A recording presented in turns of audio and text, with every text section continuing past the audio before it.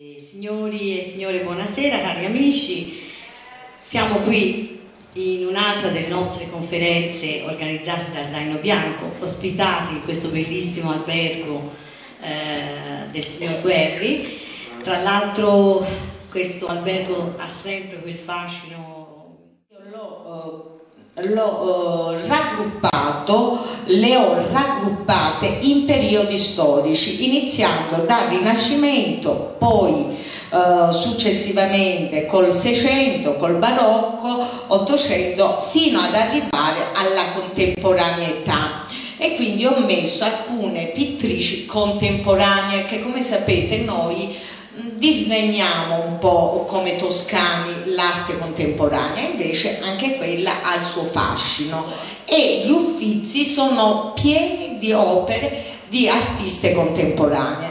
Come vedete ho voluto chiudere questa uh, lista con Anna Maria de Medici, Anna Maria de Medici detta Ludovica de Medici eccetera. Perché questo? Perché lei è stata quella, quella donna di casa medici eccellente, eccezionale, lungimirante che è riuscita con i patti di famiglia a mantenere tutto il patrimonio artistico della famiglia Medici nella Firenze, quello che noi andiamo a vedere. Come sapete, altrimenti avrebbe preso uh, strade diverse.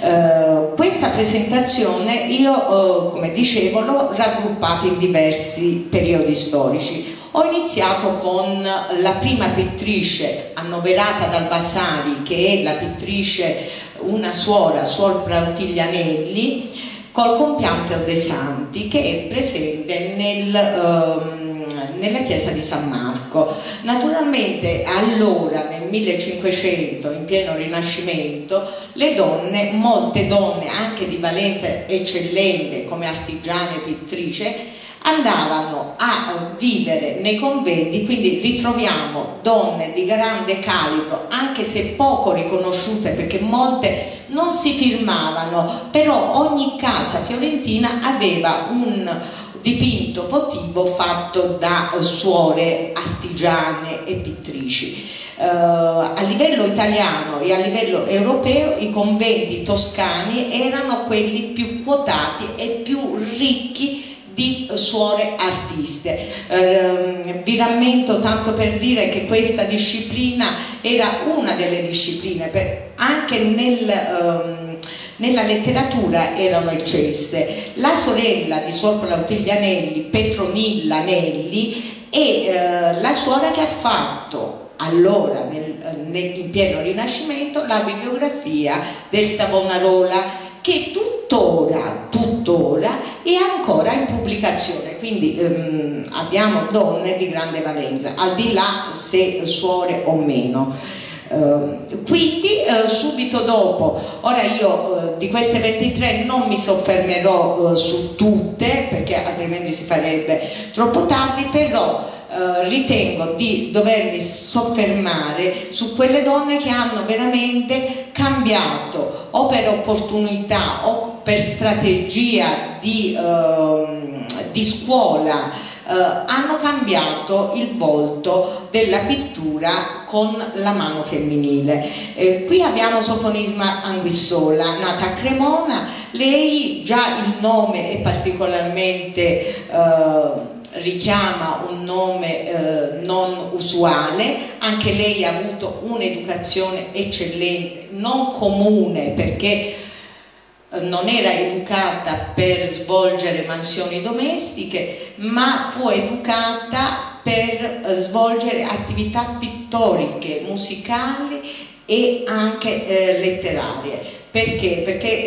eh, la famiglia da cui proveniva, una famiglia nobile e eh, di grande valenza, eh, oggi si direbbe progressista, eh, già allora, eh, accompagnata dalle altre due sorelle, si recava nei laboratori eh, di pittori per imparare l'arte, cosa che non era comune, non, cioè era permesso a malapena agli uomini.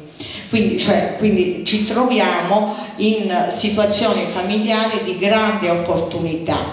Ma questo lavoro mm, eh, andando avanti vi dimostrerà che non solo, non solo eh, le opportunità eh, le hanno avute anche in determinate situazioni di disagio e eh, le opportunità sono state eh, trasformate in eh, grande privilegio e in forza di carattere, cioè quindi la grandezza del carattere di una donna è dimostrata proprio da questa eh, situazione che a volte eh, la disabilità, eh, il disagio familiare, sociale, il fatto di essere subalterni ti diciamo ti corazza per emergere in maniera determinante. E quindi questa è la dimostrazione perché qui noi abbiamo personaggi di grande valore. Eh, naturalmente Artemisia Gentileschi la conoscete tutti, eh, dopo tre secoli finalmente è stata valutata per la pittrice quale è, per grande dote non solo di eh, talento ma anche di personalità ma soprattutto era, ma soprattutto era, ehm, era ricordata per il suo evento, eh, per il suo processo. Sapete benissimo che fu abusata da un pittore, amico del padre, che purtroppo in, eh, in quelle occasioni si pensava di riparare con il matrimonio. Naturalmente lui era già sposato, la cosa non era possibile e subì un processo perché lei determinata non cambiò la sua versione dei fatti e dimostrò anche sotto tortura in pubblico, allora le torture Mm, si svolgevano in piazza con strumenti, eh, lei fu sottoposta a schiacciamento delle dita, quindi anche oh, un disagio anche per la sua professione, ma lei anche sotto oh, tortura eh, non cambiò la sua versione dei fatti. Questo eh, non solo gli, gli, accreditò la sua fermezza di carattere, ma perseguitò anche eh, successivamente a professare la sua grande passione, quella di essere una pittrice. Fu eh, chiamata in diverse corti europee, quindi questo ce lo dimostra dai tantissimi lavori che lei ha fatto. Questo è un autoritratto che si trova a Londra. La Paladina è una fiorentina, anche lei molto brava, purtroppo morta eh, in giovane età. Eh, qui abbiamo eh, la natura morta di Giovanni Garzoni. Giovanna Garzoni, anche lei, eh, a differenza di altre, ha perseguito la sua pittura, la sua innovazione, però a differenza di eh, Anguissola, di Sofonisma, lei non aveva disponibilità economiche. Eh, fu eh, iniziata la pittura dallo zio, ma poi la sua grande valenza fu quella di, di affermarsi per la determinazione e per la diversità della pittura che come vedete è diversa da quella del genere che veniva allora usato soprattutto nei paesi uh, del nord Europa. lei è morta a, a, a Roma, ha lasciato e sepolta all'Accademia di San Luca dove lei lasciò tutti i suoi averi con, a condizione che fosse sepolta nella chiesa di San Luca dell'Accademia. Questa è straordinaria, eh, lei è una donna eh, dei, eh, dei, Paesi Bassi, eh, anche in questo caso ci troviamo davanti a un a una donna talentuosa ma con poche opportunità economiche, quindi lei ebbe un mecenate. Questo mecenate naturalmente uh, uh, pensò al, alla, sua, uh, alla sua educazione però eh, in età matura, naturalmente lei era figlia di sacerdote, in età matura eh, dovette acconsentire di eh, essere promessa in sposa. Eh, la Osterwig, pur di eh, essere esentata da questo dovere sociale di essere data in sposa a un valente pittore, pose delle condizioni. Pensate che allora le donne non erano così ferrate, determinate da porre condizioni, mi voglio sposare o no. In questo caso, in questo caso uh, la Osterwich pose le condizioni a questo suo matrimonio con una condizione inusuale, eh, veramente eh, straordinaria. Chiese che il promesso sposo non le facesse la corte per 12 mesi pur avendo il laboratorio, perché era eh, anche lui pittore, di fronte al suo eh, di e per 12 mesi non doveva corteggiarla. Quindi immaginate una condizione del genere eh, se eh, fosse stata presa seriamente allora comunque lei molto determinata a mantenere e a ricevere queste condizioni alla scadenza dei 12 mesi ogni eh, occasione che il promesso sposo eh, si apprestava a visitarla lei segnava sul davanzale con una tacca di eh, sì, eh, a ricordo del, della promessa infranta. A, a, conclusione, a termine dei 12 mesi, questo andò a reclamare la sua, eh, la sua mano eh, e che a quel punto le fecero notare che non, era stato, non erano stati rispettati eh, le condizioni, per cui lei rimase nubile. naturalmente allora non era facile trovare assistenti maschili, quindi lei addestrò la sua domestica a fargli da assistente. Cioè, quindi si trovarono veramente in condizioni disagiate anche a, anche per svolgere quelle comuni attività che che di solito in un laboratorio venivano svolte tipo uh, dipingere i fondi uh, da assistenti. Uh, le donne di quell'epoca hanno quasi sempre addestrato le proprie assistenti. E, ecco, ehm, mi fermo su Elisabetta Sirani. Ecco, lei purtroppo è morta giovane, a 27 anni, però a 16 anni era già uh, nella piena attività di pittrice, uh, fu uh, iniziata dal padre a questa attività, però a 16 anni lei già manteneva Uh, totalmente la famiglia e che quindi il padre uh, fu, uh, abbandonò la professione e si mise al suo servizio. la Sirani ha avuto degli elogi straordinari, è stata descritta come la gloria del sesso femminile da pittore, lei stessa è stata a scuola di Guido Reni, è seppellita accanto alla sua tomba e la Sirani, eh, lei per la sua valenza, già a 27 anni aveva fatto oltre 300 dipinti, eh, non veniva creduta come era facile immaginare e quindi era, fu costretta a svolgere delle sedute pubbliche di pittura. A queste sedute pubbliche eh, fu invitato anche eh, Cosimo III eh, e si rammenta che in quell'occasione, oltre a farsi eh, dipingere una Madonna eh, dalla Sirani, fece, si, eh, fece il giorno stesso dipingere anche un ritratto dello zio Ferdinando. A questo punto il solito giorno andò via con la tela già completamente dipinta con i colori ancora morbidi, ancora freschi. Eh, queste sedute erano eh, svolte eh, in maniera pubblica, quindi in piazza, oppure nel suo laboratorio alla presenza del... Um, della popolazione. Questo perché? Perché lei aveva una mano, aveva un metodo di dipingere molto fresco.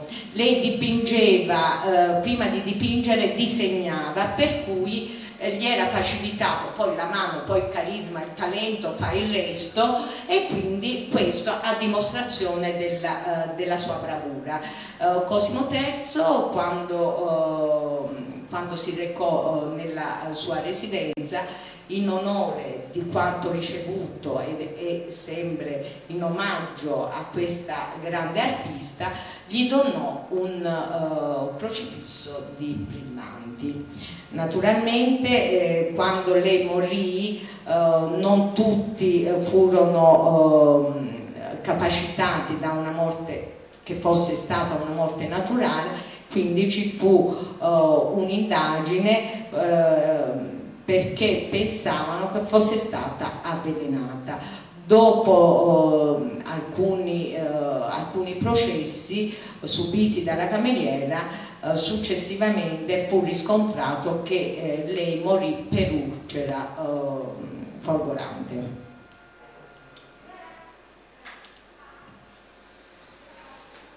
Qui abbiamo delle nature morte della Ruisk, anche questa è una donna straordinaria alla corte, del, alla corte della famiglia eh, Medicia, eh, pittrice di corte, eh, in questa occasione lei, a differenza di altre che dovevano seguire la corte, lei rimase eh, ad Amsterdam col marito, eh, i dieci figli che ebbe, eh, a ogni figlio donò dieci dipinti come dote e ehm, vi dico un aneddoto che eh, viene spesso citato che l'ultima figlia per sposarsi dovette aspettare otto anni. Quindi eh, immaginate per produrre questa era molto richiesta.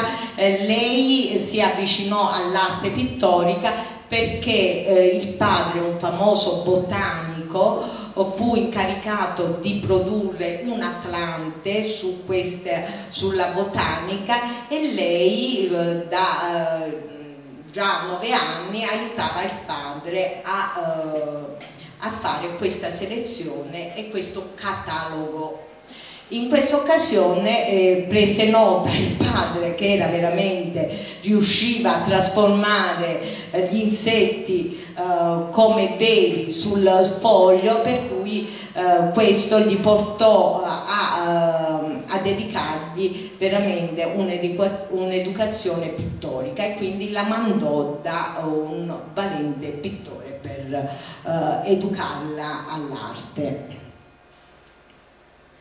E questa è la Fratellini, la Fratellini è una toscana, anche lei eh, qui è un autoritratto che troviamo nel corridoio vasariano, lei si rifà alla, uh, alla Rosalba Carriera che uh, dette diciamo, l'opportunità alle donne di uh, mettersi in mostra con un tipo di pittura diversa. Lei ha dipinto col pastello e quasi tutti i suoi dipinti sono a pastello. Logicamente questo gli dava una possibilità di eh, essere più fresca e estemporanea. Eh, la Rosalba Carriera, anche lei eh, fu oh, iniziata nel laboratorio di famiglia per dipingere delle miniature delle tabacchiere fino a quando decise la sua strada con le due sorelle, anche esse pittrice. Eh, dicevo che anche lei, come la Siriane, aprì una scuola per donne e la prima scuola eh, che, fu, che sfornò 24 artiste fu quella della Siriane, la bolognese. Lei ebbe meno fortuna in questo, in questo campo. Ecco, eh, qui invece abbiamo eh, la Giulia Lama, lei è contemporanea del Piazzetta, lei bravissima, in tutte le arti, perché a differenza di quello che si fa ora, che la disciplina che si uh, sceglie, si approfondisce, allora erano uh, molto colte eh, nelle diverse di discipline. Eh, la Giulia Lama addirittura eh, era una matematica, ehm, la sua eh, poca fortuna fu data anche dalla poca uh, bellezza estetica sua. E quindi questo a volte, come sappiamo bene, a volte limita l'opportunità della crescita uh, per il futuro.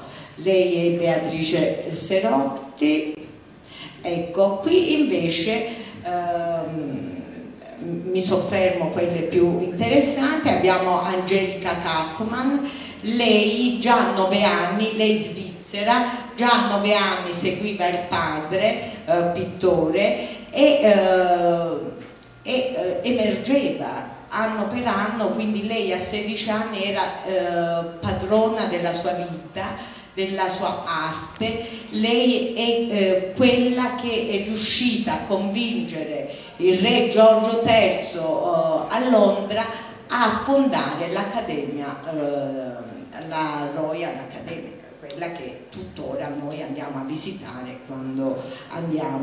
E devo dire che oh, lei non era solo pittrice di tele, ma affrescava anche uh, le sale, quindi uh, nell'Accademia londinese troviamo alcune sale affrescate da lei. Lei ha vissuto molto in Italia, eh, e a Roma gli fu... Uh, preparato un funerale degno di un capo di Stato fatto dal Canova, cioè queste persone quando sono state riconosciute a tutti gli effetti del proprio talento non hanno avuto rivali. Eh, la storia poi ci insegna che poco si sa e nei libri di testo poco ci viene detto, quindi queste opportunità che stiamo dando e anche questa pubblicazione con l'associazione ci dà l'opportunità di far emergere quest'altra metà dell'arte. eh, teniamo a rilevare che non vogliamo settarismi, non vogliamo rivalse maschile e femminile perché l'arte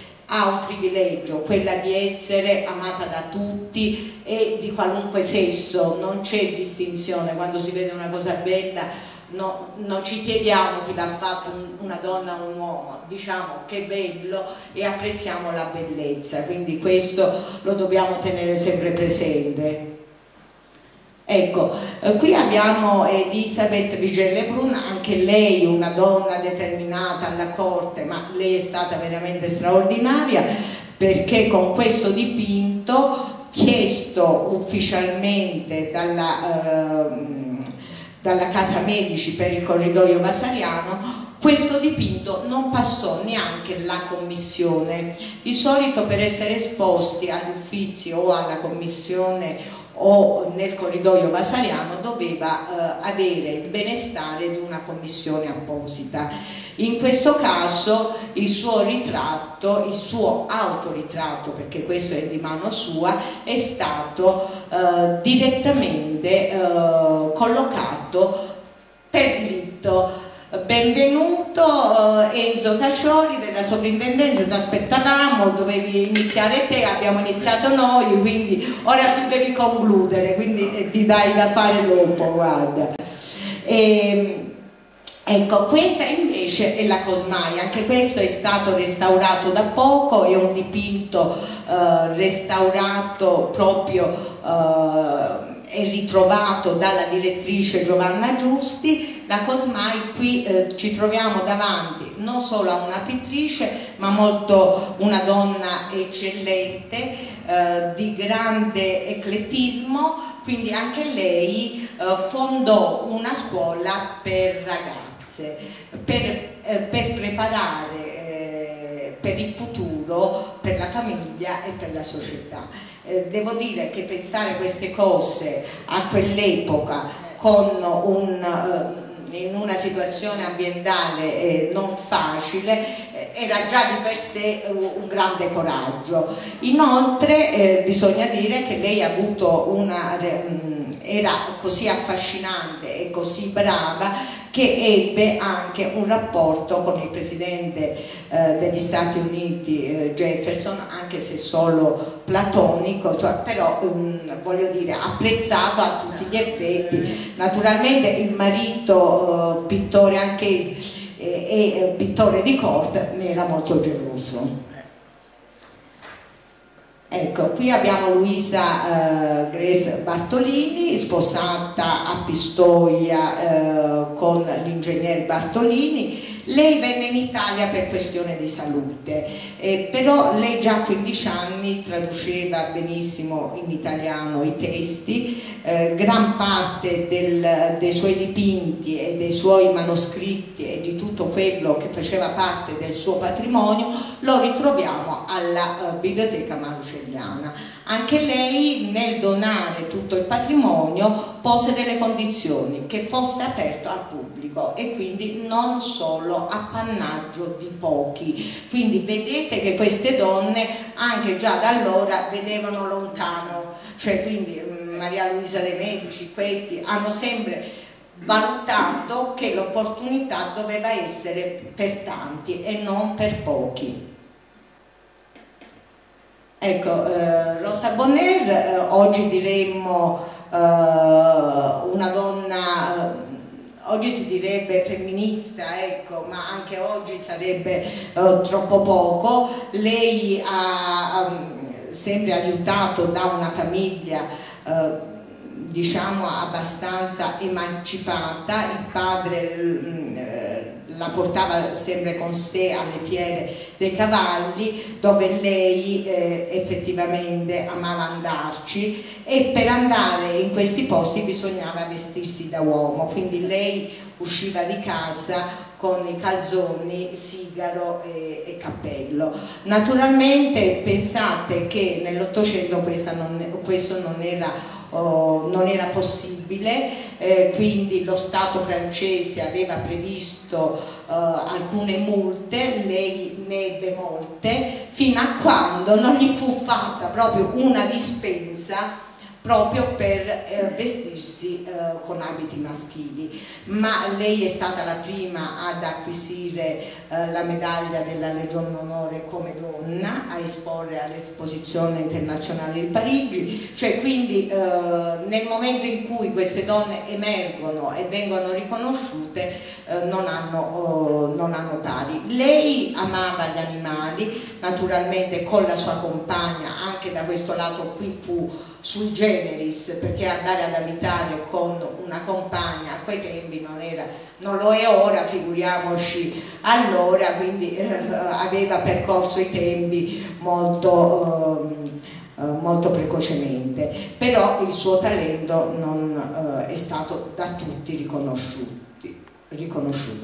Qui abbiamo la Chaplin, qui abbiamo eh, nel negli Uffizi. Abbiamo tre generazioni di Chaplin, questa è la nipote di Charlie Chaplin, anche lei eh, come vedete eh, nel dipingere amava molto i, i, i, i, pastelli, i colori tenui e questo è quella che la distingue da, eh, da tutte le altre della sua epoca.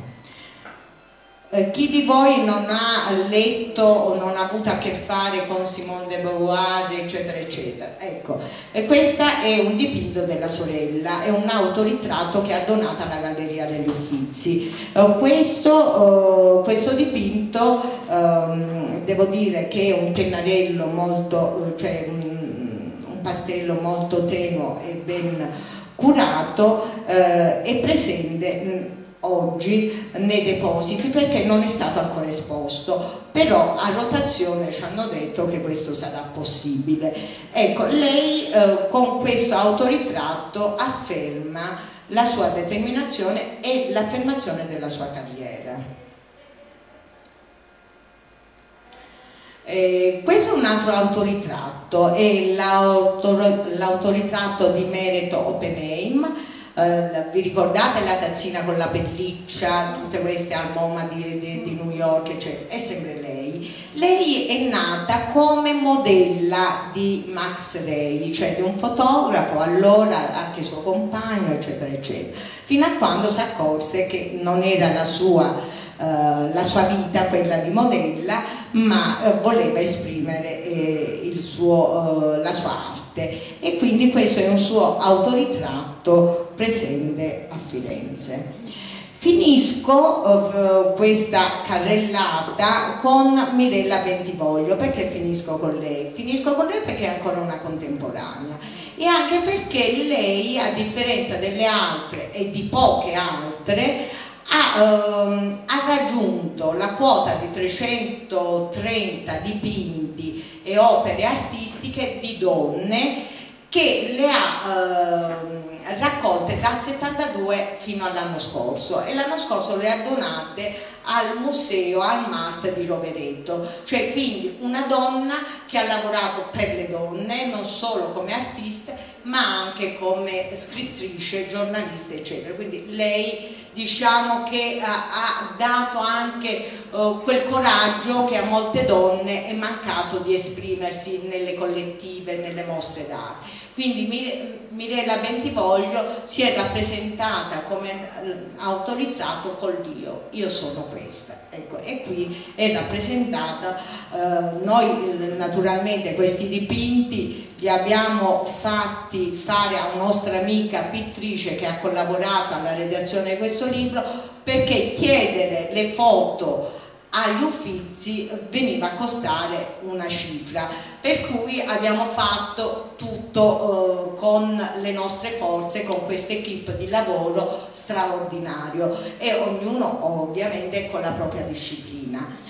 Tutto questo eh, nelle, eh, nost nei nostri incontri con i nostri amici e chi ci ha seguito eh, l'abbiamo fatto visionare in anticipo questo, uh, questa visione, questa uh, concertazione scatu sono scaturite tante riflessioni, riflessioni interessantissime che anche questo abbiamo ritenuto importante, decisivo metterle in questo libretto. Questo libretto ovviamente ha la funzione non solo di divulgare quello che noi si è detto e quello che ovviamente vogliamo che si conosca, ma anche come sostentamento di questa associazione, l'associazione Aseba. Ora sull'associazione troverete anche una scheda, ma prima di leggere la scheda, visto che abbiamo l'opportunità di avere Nanda Pratellesi qui direttamente, io Uh, farei sintetizzare la scheda direttamente da lei perché è molto importante perché poche volte noi ci soffermiamo su, questa, mm, su questo tipo di lavoro che eh, molte di queste associazioni fanno per noi e per la società. Nanda spiega a te tutto perché penso che meglio di te non lo può dire nessuno vai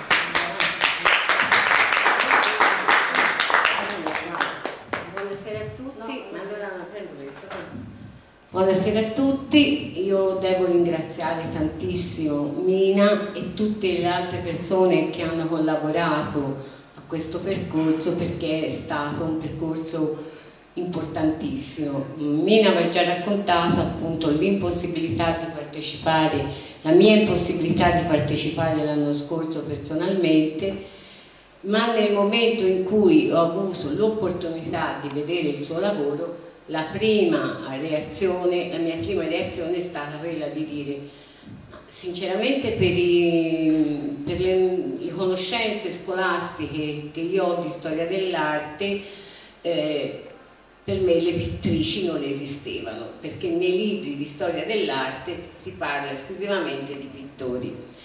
Poi purtroppo le vicende della mia vita non è che mi hanno permesso di dedicarmi a questo aspetto e quindi per me è stata una grande scoperta.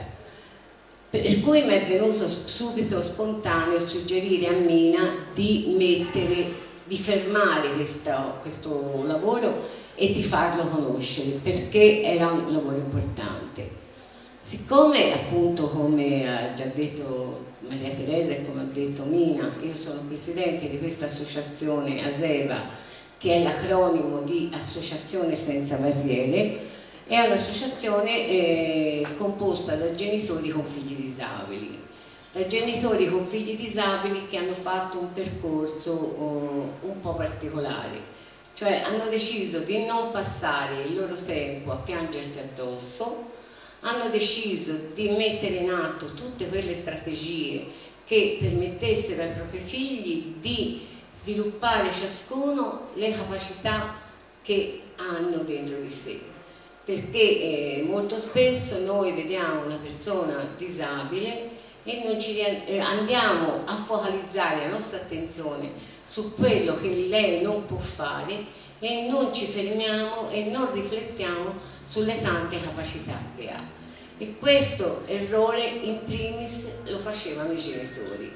Io ho avuto la fortuna di conoscere delle persone eccezionali che mi hanno fatto aprire gli occhi su questa cosa e quindi mi è sembrato giusto eh, comunicarlo anche, coinvolgere in questo percorso altri genitori.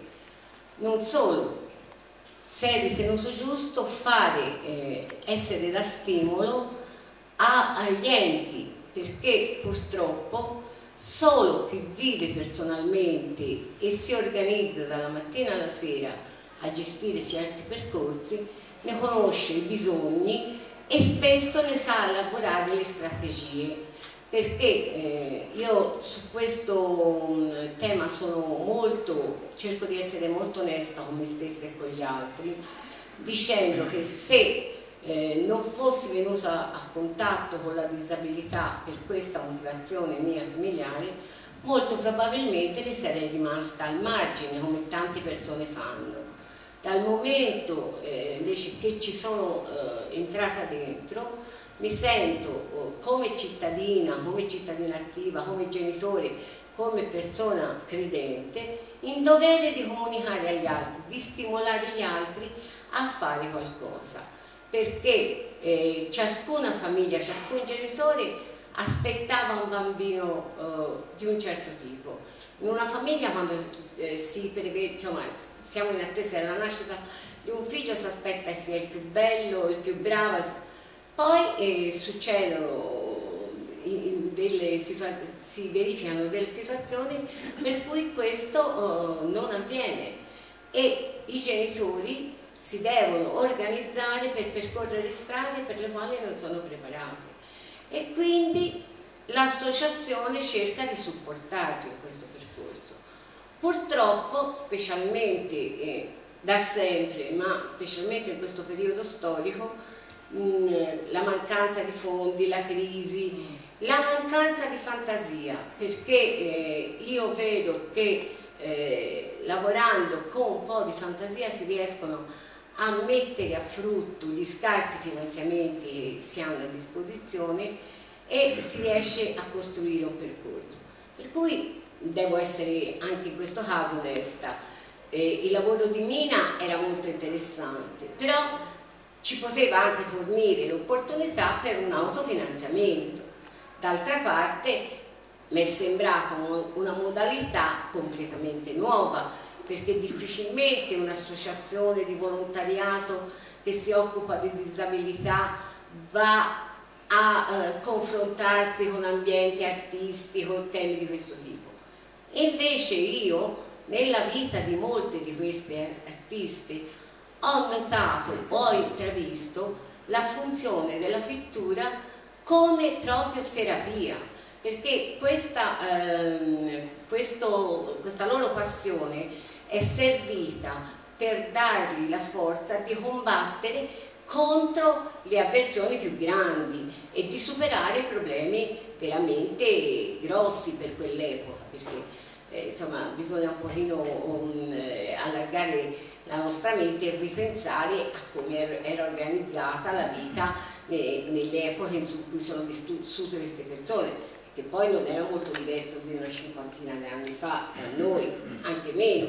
E quindi secondo me eh, è stato un percorso importante. È stato un percorso importante anche perché ha visto casualmente a lavorare insieme un gruppo di donne, sfatando quella famosa concezione in base alla quale le donne non legano tra loro e cercano di combattersi l'una con l'altra. Invece si è dimostrato in maniera chiara che quando si fanno percorsi intelligenti, quando si fanno percorsi che hanno un valore, un grosso valore, ciascuno impara e secondo me questo dovrebbe essere il segreto un po' di tutto, perché se non si impara nella nostra vita, a, eh, nel nostro mondo in modo particolare, a dare ciascuno il meglio di sé per il bene comune, senza combattersi l'un l'altro, non si arriva a niente.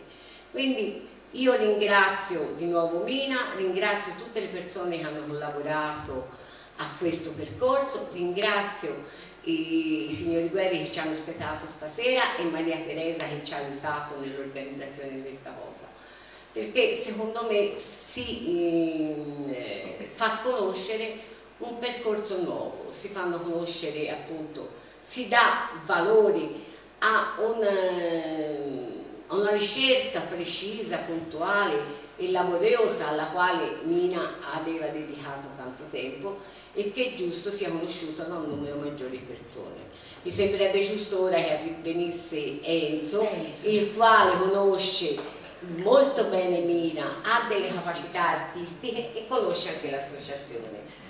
Giustamente Nanda, chiamo qui al tavolo Enzo Cascioli che oltre ad averci presentato eh, il libro mh, mm, in, un, in una maniera veramente eccellente parlando di bellezza e eh, lo chiamo anche eh, nella doppia veste di uomo impegnato nel sociale perché eh, le sue molteplici attività non sono solo quelle lavorative alla sovrintendenza dei monumenti di Firenze ma lavora in diversi settori sempre a livello di volontariato e di associazioni culturali.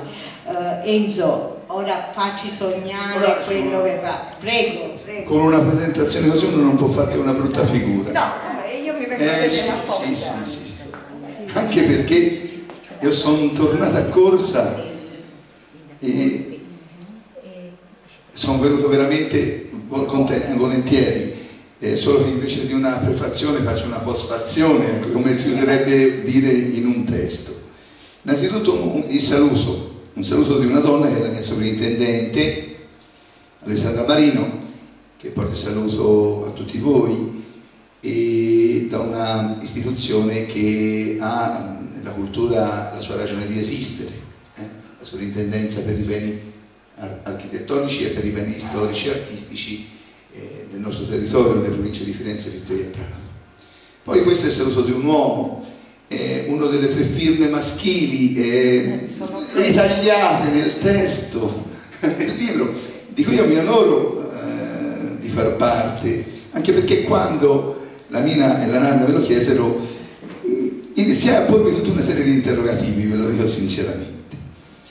Tuttavia ho capito bene perché, e ve lo dico in tre parole, ringraziando Preomina e Nanda per eh, il frutto del loro lavoro e per ciò che stanno facendo. Ringrazio tra loro e alle donne protagoniste di questo libro, donne quasi sconosciute, alcune anche grandi donne famose, ma donne quasi sconosciute. Perché eh, questo libro originale? Perché nasce da un'intuizione molto singolare che eh, la donna ha la capacità di portare a sintesi ciò che nella realtà di oggi è conflittuale, è contrastante. E portare a sintesi, guardate, è la cosa più difficile in questo mondo. Lo vediamo in tutti gli ambiti della nostra vita, lo vediamo nella politica, come è difficile fare sintesi. Eppure la politica non sarebbe il contrasto dei diversi, ma sarebbe la sintesi delle diversità, fra le diversità. Cioè la capacità di raggiungere un più alto grado di quelle che le parzialità sono e si esprimono, ma anche la pittura è la capacità di far sintesi, la capacità di far sintesi fra il reale e il percepito, la capacità di far sintesi fra ciò che esiste e ciò che vorremmo. E questo è tipico sia di chi lavora per tutti, Mina è un funzionario del comune di Reggello, io sono un funzionario della sovrintendenza, quindi istituzioni che lavorano per tutti. E è caratteristica anche di chi eh, pone l'intuizione, la fantasia e la cultura al servizio della crescita dell'insieme. Allora far sintesi, eh, non vi dispiacerà se io riprendo tre definizioni che nel volantino che presenta Seba sono presenti. Anche perché nasce da Seba, pur eh, se Minami è la principale autrice. Però la prima riflessione è questa. Seba, Seba pone come slogan, uno slogan importante, la diversità rende liberi. E allora queste donne e il ruolo anche della donna nella società molto spesso ci aiuta a coniugare, non a contrapporre diversità e libertà, diversità e bellezza. Io nella mia prefazione ho citato una donna quasi talvolta sconosciuta ai non addetti ai lavori, Suzanne Valadon, una francese di fine Ottocento, è stata una, anche lei è nata come modella, come tante donne, hanno saputo conquistare la fama attraverso un itinerario che talvolta è stato anche un itinerario burrascoso, questa è una donna che ha avuto delle gravi difficoltà anche con i, con i figli con, eh, e vivendo ore di grande drammaticità. Ecco, lei si esprime in un suo passaggio, che è forse il più famoso, e dice non bisognerebbe mai mettere la sofferenza nei disegni, ma tuttavia non si annulla senza dolore. L'arte è qui per rendere eterna questa vita che noi odiamo. Vedete, è una donna che non nasconde per niente la drammaticità dell'esistenza, tuttavia accetta una sfida, quella di un'arte che ci spinge verso l'immortalità, cioè verso qualcosa di ulteriore. Aggiungo a questa una seconda citazione eh, che molto spesso ci fa cogliere la bellezza nel suo valore reale. Molto spesso la bellezza è stata eh, ritenuta qualcosa di ulteriore, di inutile quasi, di, di non, eh, da non poter mettere a profitto. E Dostoevsky in un suo testo molto bello, I demoni, di, fa dire a uno dei protagonisti queste parole. Sappiate che l'umanità può fare a meno degli inglesi, può fare a meno della Germania, che niente di più facile per lei che fare a meno dei russi, che per vivere non ha bisogno né di scienza né di pane, ma che soltanto la bellezza è indispensabile, perché senza bellezza non ci sarà niente da fare in questo mondo. Qui è tutto il segreto, tutta la storia è qui. Ecco, guardate, il fascino che, che ha esercitato in queste donne, una tensione al bello, è stata la leva che le ha fatte uscire dall'anonimato e le ha fatte eh, apprezzare e osservare. Eh, Galileo Galilei eh, nel, nei primi anni del Seicento scriveva a Elio Diodati, era un fiorentino, un suo amico, dicendo queste parole. Elio, eh, Galileo Galilei era diventato cieco negli ultimi e diceva così, or pensi, signoria vostra, in quale angustie si sta trovando la persona mia. Io che per mille volte ho moltiplicato e ampliato quel cielo, quell'universo, conosciuto da tutti i sapienti e i dotti di tutti i tempi, ora mi sto ritrovando costretto a vivere nelle dimensioni che occupa la persona mia. Cioè un uomo che aveva scusato le stelle, la bellezza del creato, e si vedeva costretto ad arrivare alla punta della sua sensibilità. È diventato cieco. Forse questo desiderio noi spesso non lo coltiviamo, eh, siamo molto provinciali, ci accontentiamo talvolta del piccolo orizzonte, ma coltivare un orizzonte più ampio è il segreto per poter trasformare la realtà. E l'arte c'ha questo, è riuscire a farci intuire un orizzonte più ampio che vada al di, là, al di là del déjà vu, al di là dello scontato e ci fa scoprire eh, nella persona, nel paesaggio, nella natura morta, una dimensione che è sempre nuova e ulteriore e punti di vista che sono sempre nuovi e ulteriori. Infine, Aseva ha un altro motto, un altro mondo è possibile, vero Nanda? Eh sì. Mi sbaglio?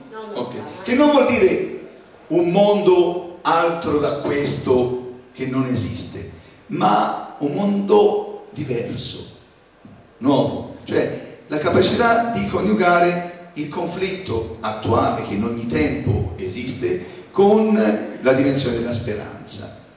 Allora vorrei anche stavolta leggervi due testi di due autori che hanno dato un segno molto forte in questa direzione, cioè la capacità di intuire. Uno lo conoscete tutti, ma siccome in questi giorni ho avuto modo di meditarlo, ve lo propongo, è semplicissimo, ce l'ho due minuti, vero Mina? O no? Sì, sì, sì. Ecco. Scusate, magari vi chiedo un po' troppa pazienza. È il famoso sogno, I have a dream, di Martin Luther King. sapete benissimo che tipo di realtà era. E allora Luther King dice, perciò parla ai neri che, che avevano vissuto loro, un loro momento forte di, iniziavano la loro marcia di emancipazione nella società americana. Ho davanti a me un sogno, che un giorno sulle rosse colline della Georgia i figli di coloro che un tempo furono schiavi e i figli di coloro che un tempo possedettero schiavi sapranno sedere insieme al tavolo della fratellanza. Ho davanti a me un sogno, che un giorno perfino lo Stato del Mississippi, uno Stato colmo dell'arroganza, dell'ingiustizia, colmo dell'oppressione, si trasformerà in un'oasi di libertà e di giustizia. E ho davanti a me un sogno, che i miei quattro figli piccoli vivranno un giorno in una nazione nella quale non saranno giudicati per il colore della loro pelle, ma per le qualità del loro carattere. Ho davanti a me un sogno oggi. Ecco la capacità di intuire. Se lui avesse detto, come qualcun altro ha detto, che magari ritirando un premio Nobel, che io credo nel, nel pensiero di Luther King e di Gandhi, però sappiate e concretamente che noi non elimineremo la guerra dal nostro mondo. E quindi che l'arte ci può appellare, che il genere femminile ci può appellare, però non ci eh, credete. Luther King diceva sogno per i miei figli, questo ha detto noi, questa generazione, non faremo niente di tutto ciò, consegneremo ai nostri figli un problema da risolvere, quello di un mondo senza conflitti. E non lo avremo se non lo intuiamo prima se non lo desideriamo, se non lo crediamo possibile.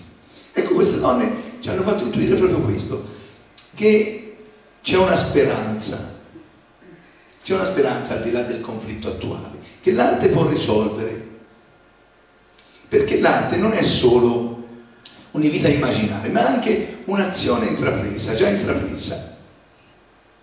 È la descrizione di un mondo esistente e nuovo al tempo stesso, è la descrizione di un sogno realizzabile. Eh, Václav Havel era stato il presidente della Cecoslovacchia, in un suo testo dice così, ci sono due modi di sperare. Si può sperare come coloro che aspettavano Godot, ricordate l'opera famosa, ma sperare come coloro che aspettavano Godot è come sperare di vedere fiorire un fiore che non abbiamo mai piantato. Ma si può sperare come il contadino, come colui che prende il seme, semina, attende con un altro tipo di speranza, la speranza che nutre la certezza che quel fiore nascerà perché, perché, perché ho messo mano e non solo l'ho fatto intuire, ma l'ho anche posto in essere. Ecco, è un po' questo l'augurio che faccio anche a Seba, a Mina, a tutti noi, cioè di saper coltivare nella conflittualità e nelle contrapposizioni di oggi quella sintesi che sia l'arte in sé, sia eh, la novità ecco, che la donna può portare nella vita comune ci può rendere percepibile e possibile. Altrimenti questo mondo non sarà mai diverso. Grazie.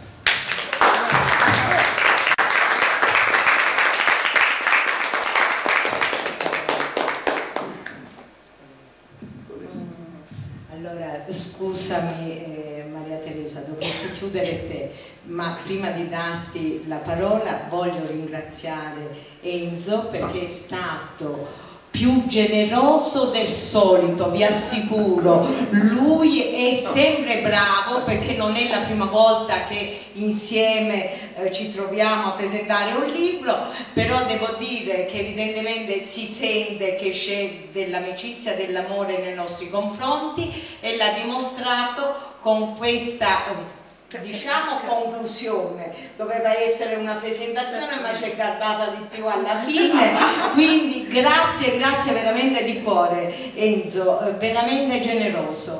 Eh, passo la parola per chiudere il pomeriggio, la serata a, a, a Maria Teresa. No, no, io, io sono qui, cioè, il microfono. Ma un fatto questo.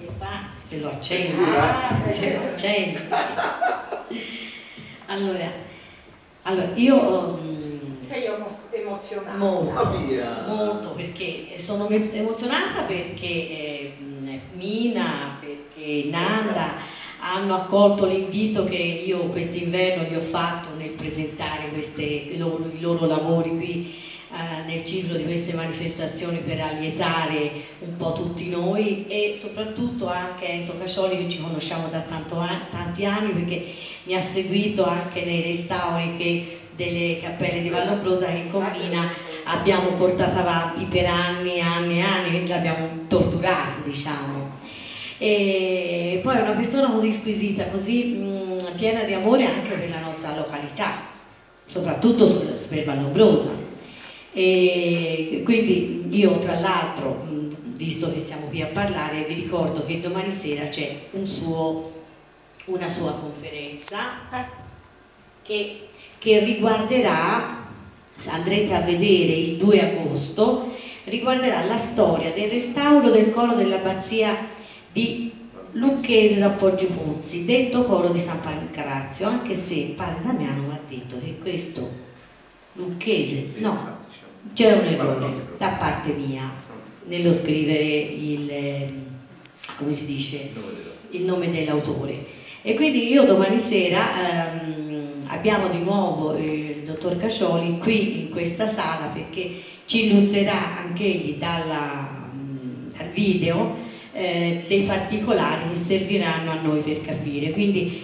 eh, io non vedo l'ora di arrivare a domani sera, sono contenta della serata sì, l'orario sarà sempre alle 17.30 e, e, quindi cioè, sono, è stata una serata bellissima anche questa.